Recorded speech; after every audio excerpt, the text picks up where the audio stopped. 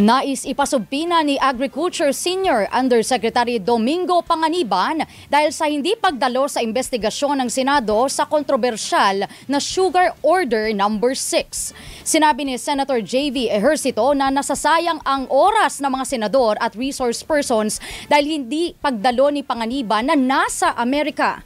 Hindi rin dumalo ang iba pang pangunahing resource person na sina NEDA Secretary Arsenio Balisacan na nasa Canada at Trade Secretary Alfredo Pascual na nasa Indonesia naman para sa ASEAN Summit.